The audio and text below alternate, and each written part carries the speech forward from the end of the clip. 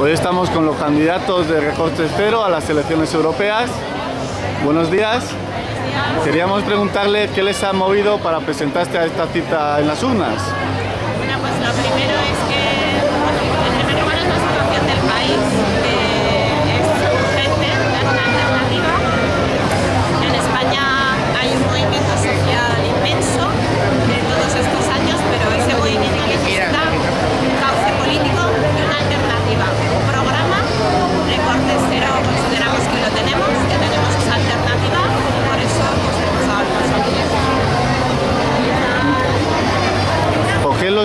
deberían confiar en ustedes y no en otros partidos? Bueno, el 25 de mayo aparentemente tenemos muchas opciones, muchas candidaturas para votar, pero en realidad solamente tenemos dos opciones. O votar a los partidos de la Troika, a los partidos que han orquestado este austericidio, que nos han llevado a esta situación, a este saqueo, porque esto es una crisis, es una estafa, es un saqueo, o votar por la redistribución de riqueza, por la ampliación de la democracia, por la recuperación de la soberanía popular. Porque en solamente dos, tres años de gobierno del Partido Popular, todas esas conquistas sociales que habíamos logrado a lo largo de las últimas décadas están siendo su- suprimidas, están recortando no solamente los derechos, están recortando la democracia, están recortando la soberanía, estamos en una situación de emergencia social y eh, movimientos sociales que han salido a la calle a reivindicar sus derechos en estos últimos años, lo que demandan es una nueva opción que represente sus reivindicaciones, es decir, eh, ese clamor popular por una ampliación de la democracia, por una democracia más participativa y por poner fin a este, saqueo al que nos tienen sometidos los poderes financieros y instituciones eh, transnacionales formadas por personas que no ha elegido nadie, porque la Unión Europea ha sido un fracaso, ha resultado ser todo lo contrario de lo que nos habían prometido.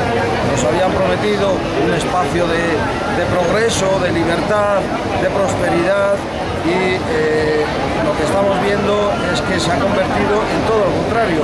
Está totalmente controlada por las grandes corporaciones multinacionales que dictan la política económica a través de un banco central europeo que debería ser un banco público, pero se ha convertido en un banco privado. Y eh, de ahí vienen las políticas de saqueo. Por eso este gobierno está convirtiendo lo que era una deuda privada de sus bancos privados en una deuda pública que estamos pagando todos los ciudadanos a través de los impuestos eh, y eh, de ahí viene la necesidad de poner fin a este régimen del 78, este sistema bipartidista y estas políticas ne- neoliberales que nos están haciendo retroceder 30 años. Su papeleta aparecerá el día 25 junto a la de PP, PSOE, Izquierda Unida. Grandes formaciones con una amplia estructura y un gran presupuesto. ¿No se sienten un poco como David contra Goliat? Bueno, a ver, en primer lugar nosotros tenemos una diferencia con, con el conjunto de candidaturas que se presentan y es que somos una agrupación electoral, no somos un partido, somos una agrupación ciudadana y tenemos 17 organizaciones y asociaciones que nos apoyan, un montón de personalidades en dos meses que llevamos es muy por encima de, de lo que se podía esperar, pero somos una agrupación ciudadana, donde todo el mundo puede sentirse representado, porque los recortes afectan al 90%. Y hace falta una propuesta donde la gente no se sienta excluida, sino donde ese 90% pueda tener su sitio, como decía el 15M, su representación. Y que además se basa en asambleas, con lo cual no solo se puede sentir no representado, sino que puede participar, puede decidir, que es el llamamiento que nosotros hacemos a la ciudadanía. Entonces, por eso, en estas elecciones hay que votar recortes cero, porque hace falta una alternativa de ese, no otro partido, una agrupación electoral. Uno de los principales problemas de España está siendo el desempleo. La EPA del pasado mes señaló que había hasta casi, casi 6 millones de personas sin un puesto de trabajo. ¿Qué ofrece Recortes Cero para, como solución para lo que es un drama actualmente? Hay 6 millones de personas sin un puesto de trabajo, pero es que además hay 4 millones de parados que no tienen ningún tipo de subsidio y hay dos millones de familias en la que todos sus miembros están en paro y no reciben ningún tipo de ayuda. Y además hay 500.000 eh, familias que han sido despojadas de sus hogares por unos banqueros usureros y hay eh, pues, 600.000 jóvenes que han tenido que eh, optar por el exilio económico, porque esto ya no es una emigración, se han visto forzados a cruzar las fronteras en busca de, un trabajo en un futuro que no encuentran en España. Y es precisamente esta situación de emergencia social lo que justifica el nacimiento de una oferta electoral nueva, diferente a todas las demás, porque esto no es un partido ni una coalición, esto es una plataforma ciudadana que representa esas reivindicaciones. Y Recorte Cero se presenta a estas elecciones para ganar, porque se dirige a una amplia mayoría social, no a una minoría política. Y sus propuestas son las propuestas de la racionalidad y del sentido común que pueden suscribir el 90% de los ciudadanos afectados por los recortes sociales. Por lo tanto, estamos en condiciones de ganar las elecciones si nos permiten darnos a conocer y ese es el gran hándicap que tiene esta candidatura, porque esta ley electoral injusta a las agrupaciones electorales solo nos otorga 15 días para darnos a conocer, mientras que el resto de las candidaturas, el resto de los partidos llevan años trasladando sus mensajes a, la sociedad y ha quedado claro que han agotado su capacidad de ilusionar. Hacen falta nuevas ofertas como la que representa Recorte Cero. El problema es que no se nos da el tiempo suficiente para que la, sociedad conozca nuestras propuestas y si pudiéramos llegar a la sociedad y trasladarle nuestras propuestas, estamos seguros de que sería posible conformar esa nueva mayoría social que necesitamos para un cambio real, un cambio efectivo. Y ahí dos cosas importantes. Nuestro programa, que es un programa concreto, real y factible y estudiado con cifras. Tenemos un conjunto de medidas, pero decir ahora mismo solo dos, son una fuente ingente para crear empleo y para acabar con el paro de este país. Primero, crear una banca pública con las cajas y bancos rescatados, que como decía Esteban, han sido rescatados con dinero público y por lo tanto son nuestros y hay que poner esos recursos al servicio de crear empleo, al servicio de la mayoría. Segundo, hay que recortar un 20% como mínimo el despilfarro de la administración, las duplicidades, los grandes sueldos y desde ahí derogar todos los recortes.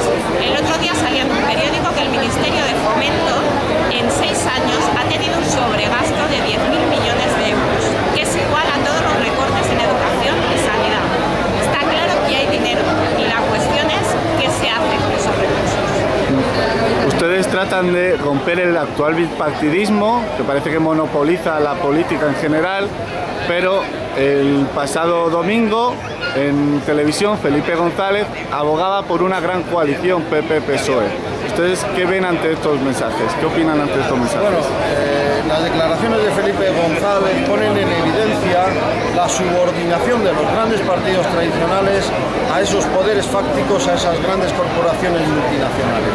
Se han convertido en políticos títeres al servicio de esa oligarquía financiera por lo tanto hace falta que la ciudadanía se organice porque de esto no nos van a salvar ningún partido de ningún color, ninguna coalición de partidos, solo nos puede salvar la propia ciudadanía si es capaz de organizarse y conformar un programa político de cambio.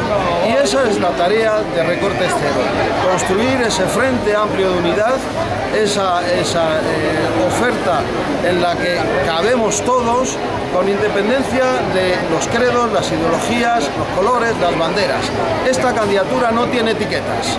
Esta candidatura se dirige al 90% de la población afectada por los recortes sociales.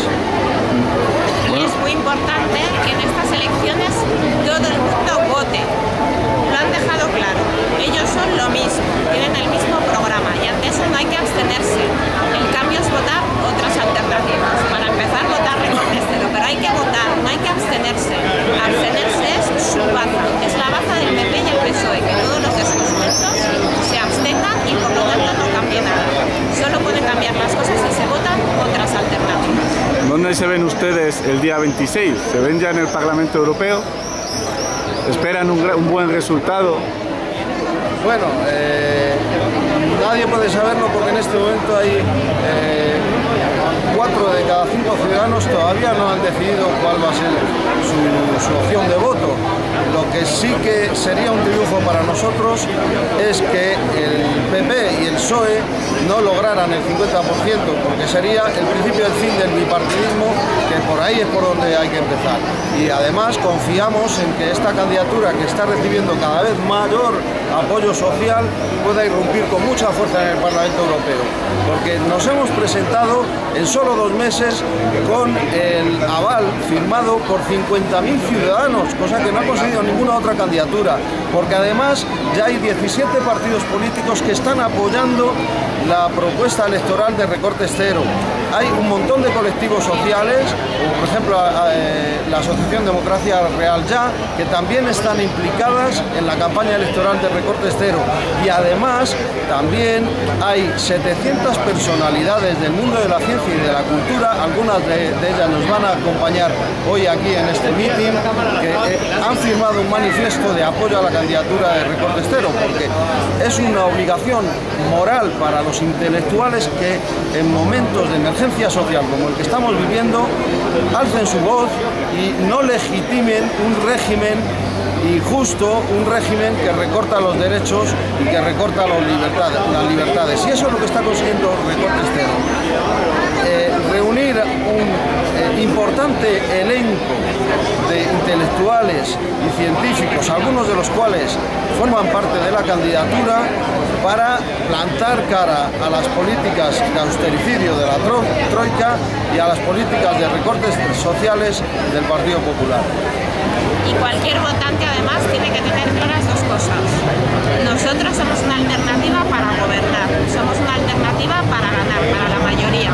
Vamos a por todas en las elecciones, pero luego además vamos a continuar. Aquí hay un periodo de dos años en España. Estas son unas elecciones de dos años, donde tenemos que conseguir que caiga el bipartidismo y que surja